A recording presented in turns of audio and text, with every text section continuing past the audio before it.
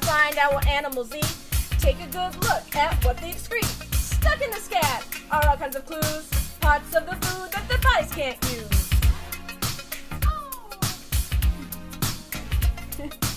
On our hike, we look for evidence. Stuff is left behind the tracks and footprints. True investigators use scientific words. Like Cumulus. for clouds and Avian. for birds. Hey, rearrange, put on thinking hats. That poop on the ground, We call it scat. Yo, chilling by the pond, it's an animal rabble. Scat full of berries and fur, must be a mammal. What kind of creature could this only be? A four-pawed omnivore, it's a coyote.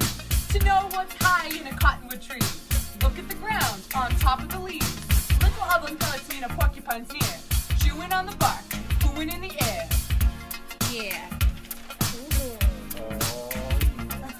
On our hike, we look for evidence, stuff is left behind. like tracks or footprints. True investigators, Use scientific words, like cumulus for clouds. Hey, avian for birds. hey, rearrangers, Put on your thinking hat. that poop on the ground, we call it scat.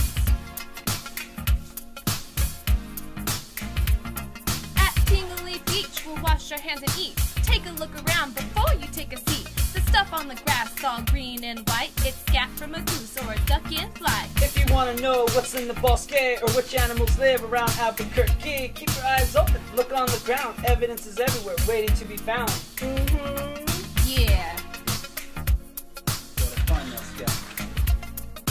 On our hike, we look for evidence.